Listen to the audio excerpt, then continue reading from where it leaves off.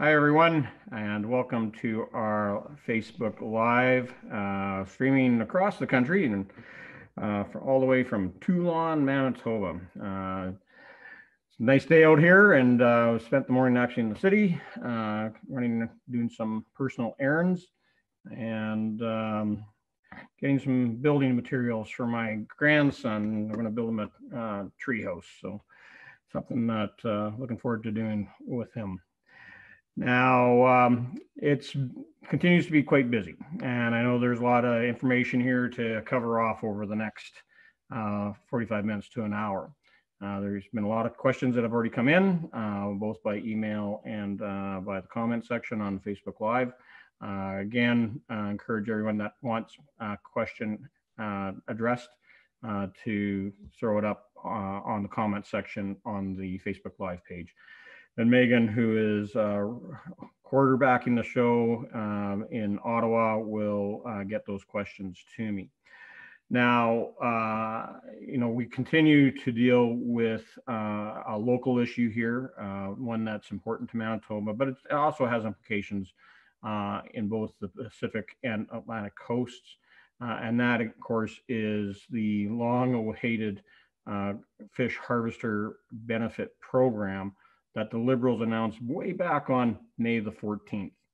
And our commercial fishers, including right here uh, in Manitoba, and we do have, like, uh, for those of you that aren't familiar with with uh, the riding that I get to represent so proudly in the House of Commons, Selkirk Interlake Eastman, we have both Lake Manitoba and Lake Winnipeg and Lake St. Martin uh, uh, in the riding and those lakes are home to uh, commercial fishermen and their families. And uh, those uh, fish harvesters uh, hold uh, often numerous licenses. Uh, Lake Winnipeg is a three-season harvest fishing season, and that enables people to earn a very good living out of sustainably producing walleye, which we also call pickerel, um, pike, uh, which are also jackfish. Uh, they catch a lot of whitefish, of course, especially in the North Basin. And uh, sauger, mullet, uh, tullibee, uh, carp. There's a number of other species that are utilized, especially um, uh, the higher value eating fish like perch and sauger and, and pickerel. The government has refused to um, roll out the announcement. Um, they're really good. You know, Justin Trudeau is great in standing in front of the cottage and making all sorts of announcements and promising to spend all of our taxpayer money. Uh, but he hasn't delivered on actually getting the dollars into the pockets of our commercial fishing industry here in Manitoba or anywhere else in Canada for that matter.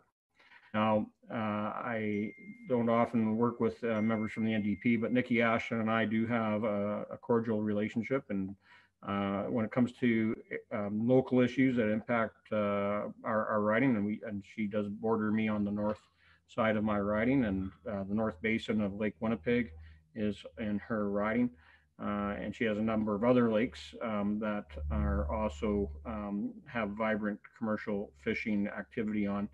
Uh, we decided to team up. So we sent a letter to the Minister for Fisheries and Oceans and Canadian Coast Guard, Bernadette Jordan, back on June 22nd and we didn't hear anything for a month. Uh, we held a press conference uh, a week and a half ago uh, on July 10th uh, here in Winnipeg in front of the ledge. And we invited in our commercial fishing uh, industry. And uh, we need to keep in mind that two thirds of the commercial fishers in Manitoba are Indigenous. and this is their main paycheck. And so they all came down as well to, to stand in front of the cameras and to demand of the Liberal government to actually finally deliver the program. And then just yesterday, we finally got a response from Minister Jordan, and it was ridiculous. She has absolutely uh, made no commitment to any timeline to uh, putting the program out there so commercial fishers can actually uh, start accessing the program. You know, that has devastated so many communities that are dependent upon these commercial fishers being out on the lake, uh, bringing home their catch safely, uh, hiring local people to help with the processing of that fish, but especially helping with the catching of it and, and landing that catch. Uh, going out there and you know doing the hard laborious work of uh, picking uh, fish out of nets uh, and um, unfortunately there is just absolutely no commitment from the liberals uh, i know that they have an over um, active interest uh, in other segments of our society you know students to say the least as we and we'll talk about the we uh, charity scandal in a minute. Uh, but you know, you got to remember that, uh, that there's the Atlantic fishery, which often gets uh, the the most attention. Uh, but there's also the Pacific salmon industry and the halibut industry that's out in the Pacific coastline. Uh, but then, you know, often forgotten is the freshwater fishery on the Great Lakes and here in Manitoba on our Great Lakes, Lake Winnipeg and Lake Manitoba. So uh, I'll work with whoever it is to get the job done to take care of uh, my constituents, take care of our commercial fishers and their families. And, uh, you know, they are the ones that uh, so many communities rely upon, just like agriculture communities rely on the farmers. Uh, we have to be there to stand up uh, and support them as they have more and more difficulty in getting their wonderful freshwater products uh, to market, uh, especially with you know border shut down in the states, which is the number one buyer of our high valued uh, pickerel. Now, uh, I want to say hi to Bogdan. Uh, Bogdan used to be uh, an Ukrainian intern in my office, now lives in the United States. So great to see you and hope you're staying safe and healthy, my, my, my friend down in the United States. Um, and I hope married life is treating you well.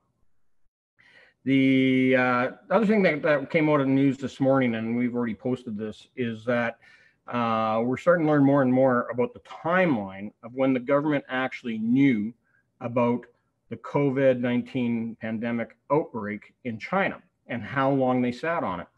And so back on May 5th, uh, we already had an information that the Canadian Forces Intelligence Command uh, and their special medical um, subunit that does medical intelligence was uh, had learned already in, in January that there were uh, cases that the Five Eye partners uh, realized right in the dying days of, of 2019 that something was up in uh, in in uh, the Wuhan province of, of China and that there was a cover up.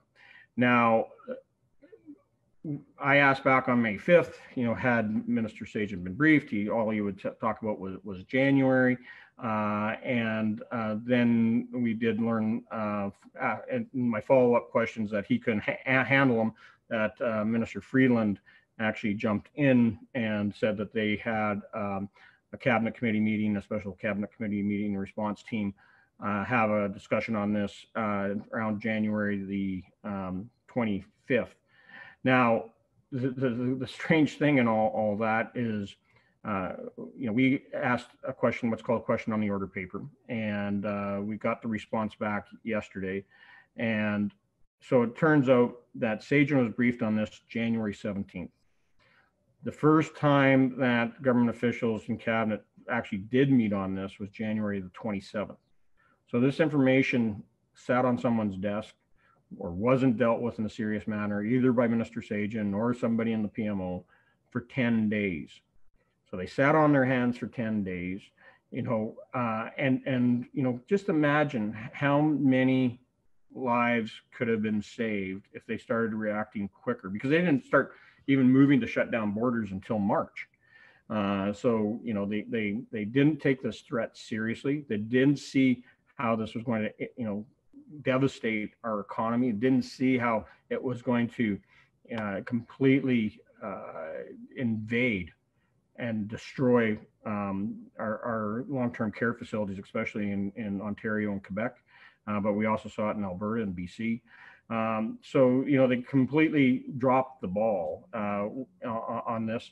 And, you know, it, it just leaves you shaking your head uh, as to whether or not they were trying to appease China or were they just completely incompetent. Now, you know, this is again uh, a sad ca- case of affairs. You know, we we know that WHO dropped the ball on this. There, there again is time lag from when people actually started to hear about it. That military intelligence were already sounding the alarm bells, and certain countries uh, didn't respond. And, and you know, there is no doubt that Canada could have done much better with stronger leadership, but we don't get that with Justin Trudeau. We don't get that with Patty Hajdu, and we definitely aren't getting it with Defense Minister uh, Harjit Sajjan, who um, didn't push on this, hard, you know, right off the bat. As soon as he uh, military intelligence started telling him uh, his his job as minister was was to get in front of the prime minister, and in front of um, you know Bill Blair as public safety minister, in front of Patty Hajdu, and say, okay, we have to act. Something's going on here, uh, and we need to follow best practices. Well, how long did we wait till they even started saying, you know, shut down the border? You know, they're just started monitoring airports and international flights from China. Um, not good enough. And as this evolves and as more information comes out, uh, we'll see exactly how uh, Justin Trudeau and his Liberal government um, mishandled this. It cost Canadians their lives, and it's costing a pile of people uh, their, their savings, uh, their businesses, uh, as we watch more and more people claim personal and business bankruptcies. Uh, well, switch gears a bit. Let's talk about this We charity. You know, here we are again, another liberal scandal. Uh, it, and you know, I, I got in, into the House of Commons back at the tail end of the sponsorship scandal, and this here uh, resembles that same sense of liberal entitlement, that liberal corruption, and you know, essentially this unethical uh, culture that just permeates throughout the uh, cabinet. Uh, and so you know, this time we got Justin Trudeau versus uh, Jean Chrétien and Paul Martin. You know, we really are lucky that it was conservatives that started to ask the questions, the media that did actually uh, start sounding the alarm bells, that there was something incredibly wrong uh, with this contract. And so money wasn't spent. Dollars didn't flow into the hands of the We Charity Foundation. And so taxpayers aren't uh, left on the hook for this. But everything else in this even stinks worse than the sponsorship scandal because this is about helping a few liberal insiders at the We Charity Foundation that they were going to benefit to the tune of over $43 million to administer a $912 million program that the public service should actually be administrating. So you know, when you start going through this and you've seen the conflict of interest that, you know, uh, you got Bill Morneau that has been tied to the We Charity. He's re- received compensation for travel. His daughter works there.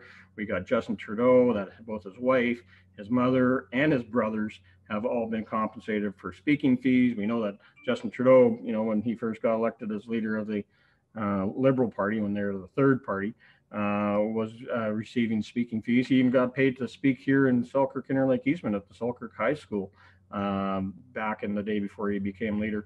And he had uh, earned, you know, uh, somewhere around $255,000 uh, from the time that he became a politician to the time that he became leader of the Liberal Party.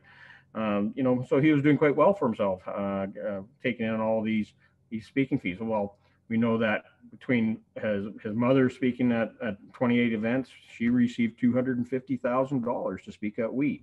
And um, these, these, this We charity uh, really have a very tight relationship with Justin Trudeau, Bill Morneau, and the Liberal Party. And uh, you have to question um, their own ethics. And as more and more uh, news comes out about the shell game that they're operating in, multiple charities and organizations and contract services that all go back to the family that uh, and the brothers that operate the We Charity. Um, you just have to wonder, you know, where is this charity at and actually delivering what they say they're going to do? The We Charity Foundation, which is the one that is particularly contracted uh, or was supposed to have the contract with the uh, federal government, uh, actually had their uh, their their that that particular foundation only got registered as a charity a year ago, and has no activity. And the, the, original purpose of that charity was to, was to be a, a land or property owner for the We charity. So what is the land holding company of the We charity doing operating a, a, a student volunteer program that was going to pay volunteers, you know, somewhere around 10 bucks an hour. So, you know, it's just again that, you know, Morneau forgot, you know, that he got paid $41,000 and in receiving uh, reimbursement for trips that he and his family has taken uh, for we over to, to Europe and elsewhere. Uh, $41,000. Nah, he just forgot about claiming that with the ethics commissioner. You know, we're supposed to, as soon as we have these things happen where we have sponsored travel, we're supposed to report those back in 60 days. And, uh, you know, Bill Morneau uh, forgot to do it. But, you know, is it any surprise? He's already been found guilty by the ethics commissioner uh, for failing to register all of his properties. He forgot to uh, register with the ethics commissioner. Um, you know, we're talking three years after the fact that he was already the uh, minister of finance, that he owned a, a, a million dollar chalet or multi-million dollar chalet uh, in France. Uh, so, you know, his properties in the French Riviera didn't even get, you know, registered uh, with, with the ethics commissioner until he got caught. And he again made the claim, oh, I forgot. And here we have now, you know, Bill Morneau just says, oh, I forgot. I'm sorry. You know what? Once, you know, maybe I can buy it. That, that was done by by accident. Two times. This is beyond getting sorry. This is that um, you have no uh, ethics. Uh, your your scruples have been compromised, and I think we have to really question that. Is this part of the liberal culture, especially of cabinet, that they just feel that they are entitled to their entitlements, like David Dingwall. Um, so, you know, we're going to keep driving this hard. Uh, we're going to find out, you know, what exactly uh, the We Charity would get if they actually had received the money and the forty-three and a half million dollars to administrate that program. Uh, I think there needs to be a closer look at, at the, the, the charity's operations. Uh, we've also raised the concern that some of the uh, videos that they've produced and going back to 2017 and and before looked a lot like uh, electioneering for the liberals. Uh, it looked like third party support, which again uh, has to be claimed. Uh, and then it has to be capped at a certain level. And if you're over that, then you're in violations of the Elections Canada uh, Act. So, you know, we have a, a, great team that are on this. I have to give kudos to to people like Michael Barrett, my colleague, and, and Pierre Poilievre who have been really hammering hard on this at the ethics commission, uh, committee and in the finance committee. And of course, uh, when we do have uh, sittings, whether it's actual sittings like we had Monday, Tuesday in the House, or what we had today with, again, a special COVID committee that's done uh, both combination of virtual and uh, real. Now, uh, let's get to some of the questions that, that have, has been asked. Um, and I tell you, I, I get Mike asks, what are some of the real solutions you're working on to get us rural Manitoba uh, access to high speed internet and cell coverage? And, um, you know, I am a, a, a rural Manitoban. Uh, where I live here, my cell coverage is intermittent at best. I'm just on the edge of coverage. Uh, I tell people normally uh, to, to actually call me on my landline. I still have a landline because we don't have good cell coverage. We used to when uh, MTS and Rogers ran out ran off a tower only a mile from not even a mile, half a mile from from my house here, but they all moved onto a new tower which is about 10 miles from here and and I just don't have that that uh, coverage anymore. We even tried putting a booster on the host and that uh, hasn't worked very well either. But um, we as conservatives have been uh, working quite diligently on trying to find a solution. We have actually asked uh, people to, to give feedback. Michelle Rempel has led the charge uh, on looking at what needs to be done. Uh, we need a solution and a plan on how to get increased cell coverage and uh, broadband internet services across this country so that rural Canada has the same services available to it as anyone that lives in an urban setting. Uh, we're not second class citizens. Uh, so uh, CRTC is going to have to look at how they deal with the sale of, of things like uh, the spectrum Uh, the way they we've done it in the past hasn't worked in, in selling it off to the big uh, multinational uh, or national uh, conglomerates like Rogers and Bell and and TELUS. Uh, what we need to actually see happen is that spectrum um, being broken down to sale into smaller packages, so people that uh, businesses that want to provide cell coverage into into underserved areas can. Uh, CRTC has a role uh, in, in also providing the mandate and the licensing and the policy to uh, provide better cross Canada cell coverage. And the same is true on broadband. Uh, this is now an essential service that uh, everybody deserves to have internet access. So we'll continue to put the hard questions against the Liberals. they don't hold a lot of seats in rural Canada, so maybe they are more apathetic uh, and uh, don't really care what, what happens in, in rural Canada. But, uh, you know, we have a rural internet caucus. We will continue to, to put, put up the fight and put the pressure on both CRTC and on the Liberals to ensure that any federal dollars that have been spent on infrastructure go to underserved or non-served areas and uh, which hasn't been the case in uh, always in the past. Uh, and secondly, is that if the big um, companies aren't prepared to do provide that that cell coverage, uh, you know, as we move from 4G up to 5G, but you know, a lot of us don't even have 3G. Uh, let's um, push forward to get that done through smaller companies who are more than willing to put up that uh, infrastructure and uh, put those towers in place uh, develop that client's uh, service basis. And then ultimately, uh, all this will have uh, not just be tie into having just one or two companies to choose from, but we'll have true competition. So uh, I, I, guarantee you that um, uh, that the Conservative Caucus are fighting hard to try to get this rectified. And we've put a, a deadline in place and um, Megan, if you can actually throw up on, on the screen at some point, but there is uh, uh, a report that we did up as, as caucus. Michelle Rempel uh, provided it to the minister, and there was a timeline attached to that, and uh, that we wanted something done by 2021. Um, so, I, uh, you know, we have to continue to uh, drive that home. And of course, each and every one of you that uh, still are not getting this, uh, uh, you know, coverage that that that uh, is, you know, good for streaming, is good for being able to do these Facebook Live events or Zoom calls, or if you're dealing with, uh, you know, trying to do FaceTime with your family. Uh, make sure that uh, you, you don't just send letters to your local MP. Make sure you're also talking to uh, liberal MPs as well. Send those, copy those emails into the, them right to the ministers uh, and making sure that that this happens. So, Minister of Industry, of course, is is the main person in charge of this, uh, and and that is Navdeep Bains. Uh, Allison, thank you for uh, liking my uh, loft background. Uh, that's uh, knotty pine that we uh, put up in our loft here. And, you know, this is where I decided to set up my office a number of years ago, even when I first entered politics. And then ultimately with all our mobile devices, I hardly ever was making use of it. But now with working from home, it was, it's definitely more comfortable to be up here at the desk uh, and and do my job uh, every day.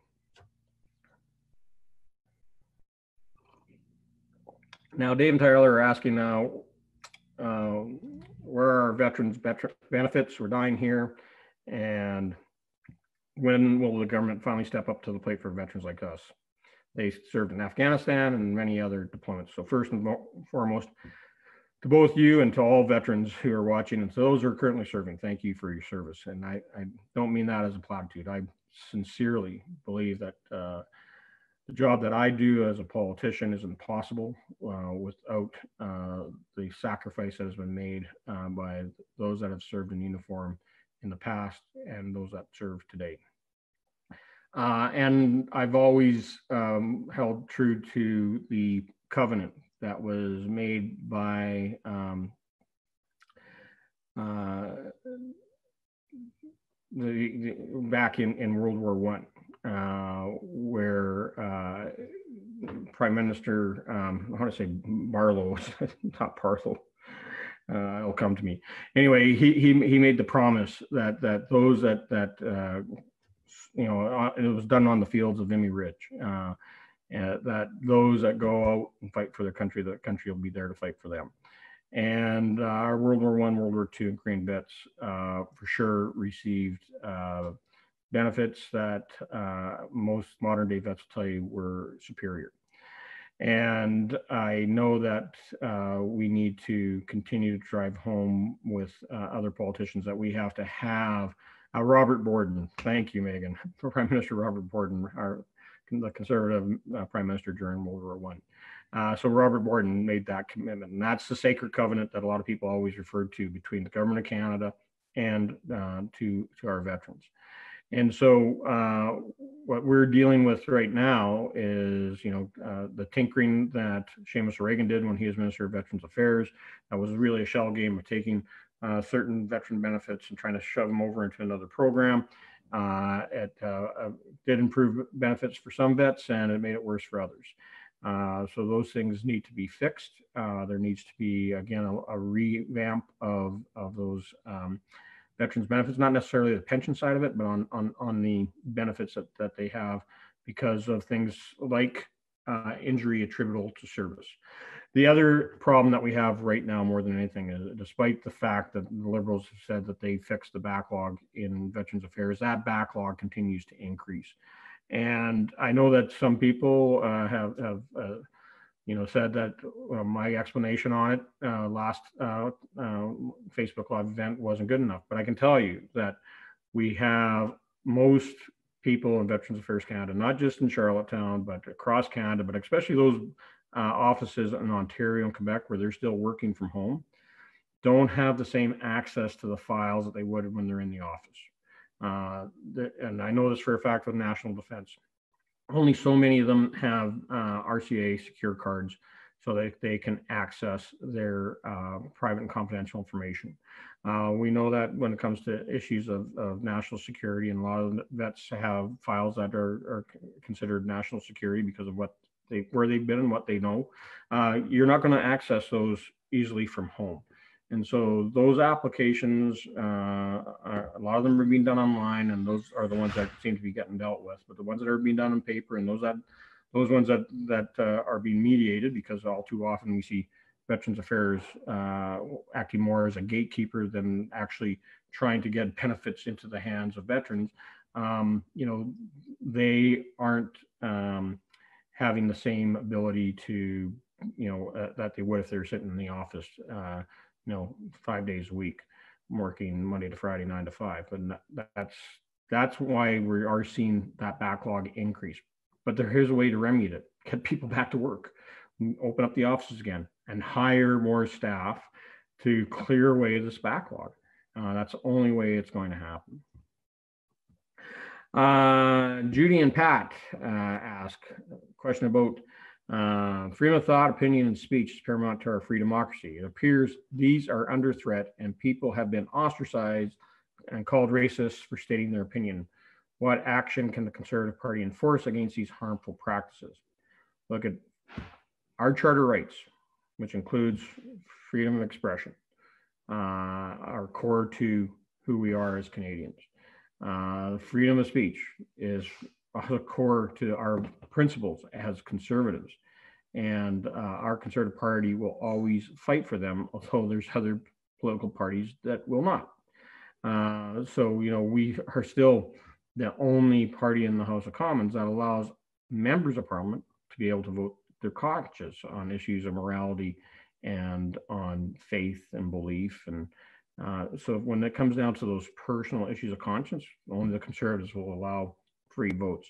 But I can tell you that uh, you know we do have uh, a group out there called Antifa, uh, which is they call themselves anti-fascists, and they see anyone that takes a uh, any position opposed to them that essentially that we're all racists or bigots or call, call us um, all sorts of names. Um, but we know that that this left wing extremist group are a bunch of anarchists. Um, they are the ones that are trying to revise history. They're the ones that were throwing pink paint on uh, the statue of Sir John A. Macdonald uh, this past weekend.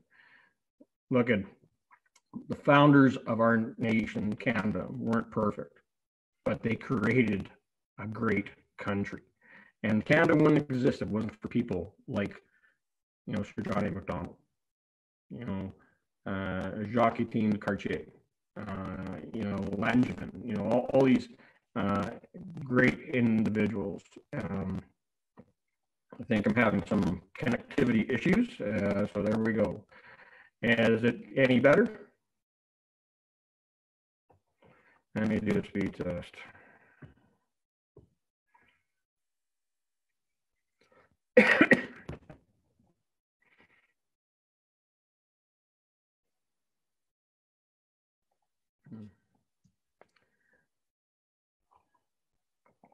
My download speed's pretty good.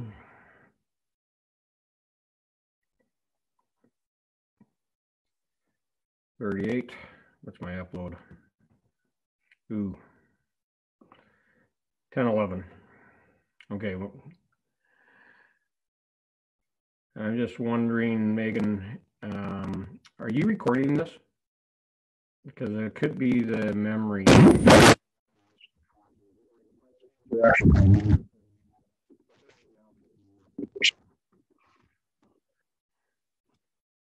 Sorry about that, people. Um,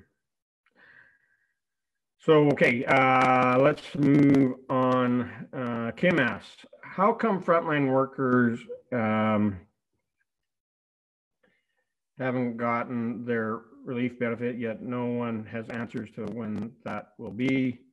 Um, so I understand you're talking about the Manitoba Risk Recognition Program. Uh, that is funded partially by the federal government, but it's administered by the Manitoba uh, government, the province of Manitoba. So I encourage you to make sure you talk to your MLA. Uh, and if you don't know who that is, uh, make sure you give us a, a, call or send us an email and uh, we'll let you know uh, who your MLA is. but I know that the application window has closed. I know that the province should be cutting checks pretty soon. There was a revamp on that originally. What, what they promised based upon hours uh, was increased, um, but uh, we'll have to just uh, wait and see when they actually get the money out. But they, I think the way they changed it, it will be more beneficial to more Manitobans.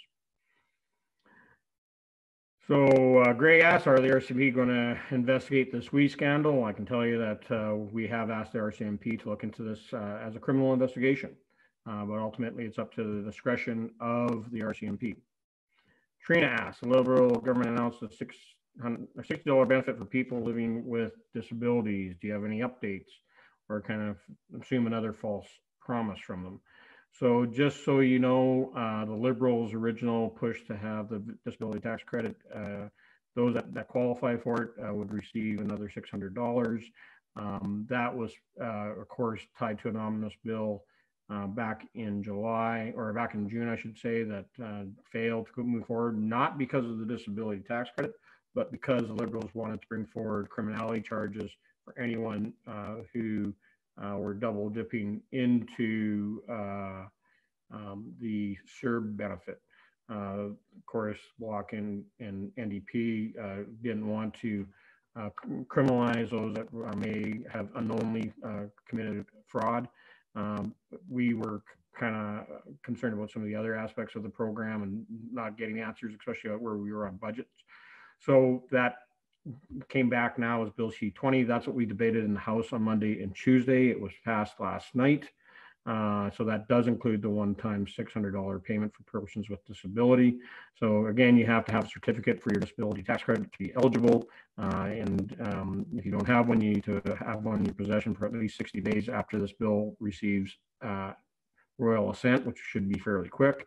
Um, it also uh, is will provide uh, people who are on CPP disability or the Quebec Pension Plan disability benefits will get it, as well as if you're getting disability benefits from Veterans Affairs Canada, this will also be paid out to those vets as well. So we did see improvements because there was questions asked around uh, this uh, special payment and uh, money will be flowing, I would hope sooner than later. Uh, so uh, also uh, we're getting a lot of email questions. Uh, my staff asked me to make sure people that are asking about changes to quarantine here in Manitoba and any other restrictions from a standpoint of interprovincial travel. Again, I urge you to reach out to your MLAs, to the provincial government, and Megan will put up the link for Engage Manitoba for the Phase Four Restoring Safe Services. But that is up now in the link comment, and uh, make sure you uh, take a look at that. That'll give you more information about whether or not travel is going to uh, going to change. And now I'm getting questions about my microphone. Microphone is all the way in. Let me take it out, plug it back in. Issues. I do this from the office. If this is, becomes a problem.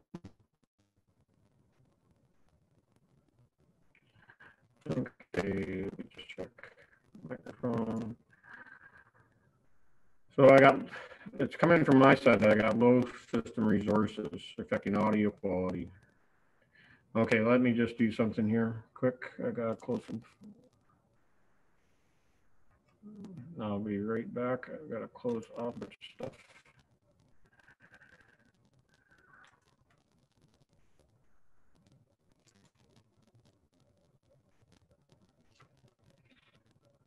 And.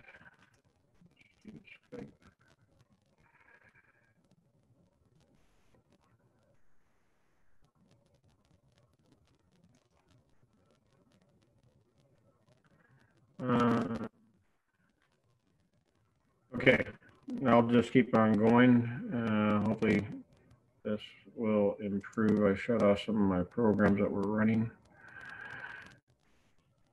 Okay, uh, so Joey asks, why can't liberals answer a simple question? Today or yesterday, Scheer asked him three times, but we and, uh, you know, Trudeau danced around it. Well, that's what Trudeau does. He doesn't actually answer uh, the question. Uh, so we do have him coming to committee. This will be uh, something that is um, new. We don't very often get prime ministers to appear before committees like finance committee. So uh, I'm looking forward to seeing Pierre Poilievre taken on uh, taking on Trudeau uh, right through. Shirley asks, what's your position on mandatory vaccines? I'm not, I'm not in favor of mandatory vaccines. I think all vaccines should be, be uh, optional. It's up to families to make those decisions on whether or not they vaccinate. But I'll, but I do believe in vaccination. I believe vaccinations uh, have worked uh, incredibly well. Uh, we got rid of polio because of vac- vaccinations, and as soon as people quit vaccinating, we started seeing cases again. Uh, the same is uh, with with other vaccines have been very, very effective. Uh, so I'm looking forward to seeing um, COVID-19 actually have a vaccine come forward. And I'll be encouraging people to actually go out and get vaccinated. But I don't think that anybody should be forced to take a vaccine if they don't believe in it.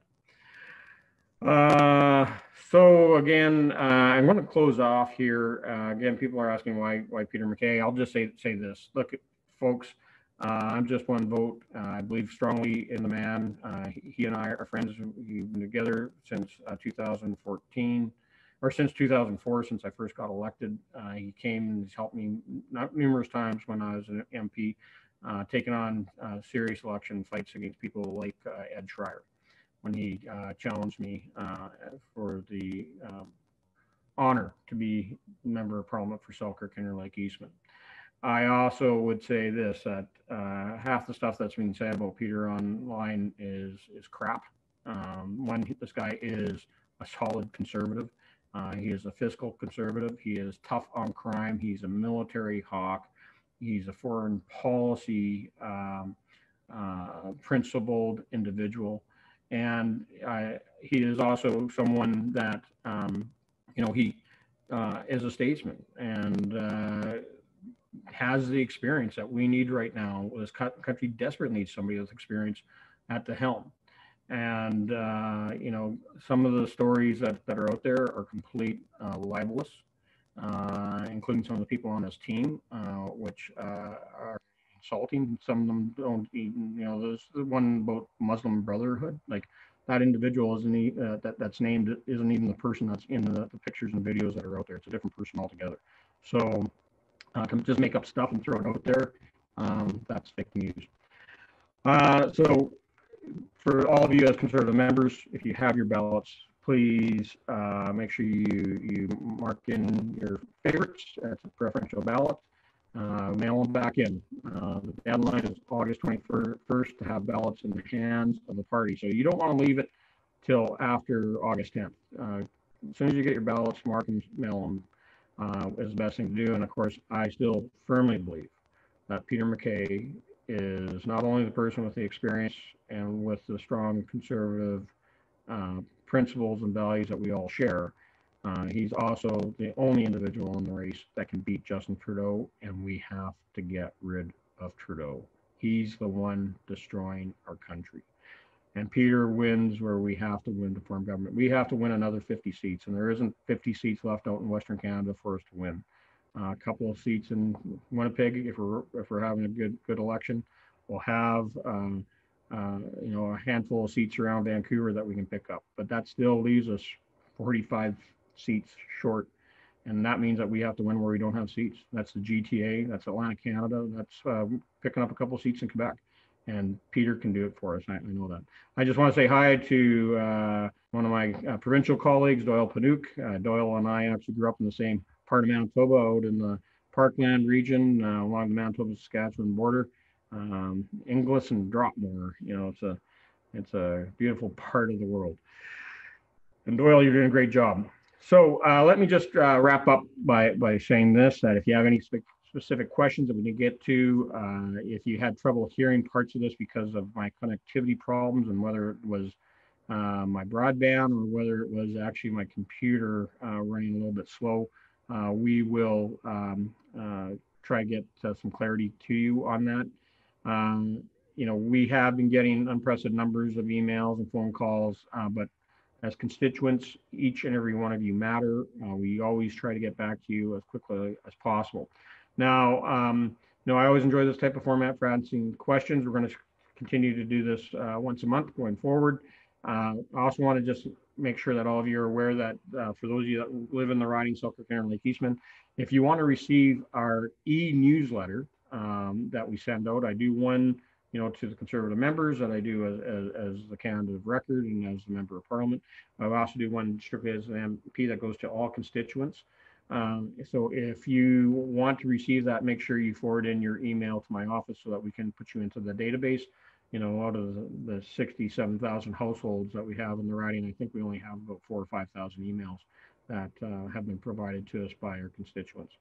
Um, but you can also, uh, you know, get it. Make sure you also provide us with your name, your postal code, uh, along with your email address so that we can uh, make sure that we have all your data uh, on file. And uh, I'll just say that I appreciate you guys all being here. I appreciate all that you're doing in trying to control COVID-19. it's not easy times. and I know that uh, things here in Manitoba are a lot better than, say, other uh, regions of the country where they continue to deal with increasing numbers. But follow the advice of our public health officials uh, and you know, I know that, uh, you know, since last time we, we spoke, we celebrated our uh, Canada Day and we also celebrated Manitoba Day, and that was Manitoba's 150th birthday. So, all of you as Manitobans, happy 150th. You look fantastic. And with that, uh, we'll talk again soon.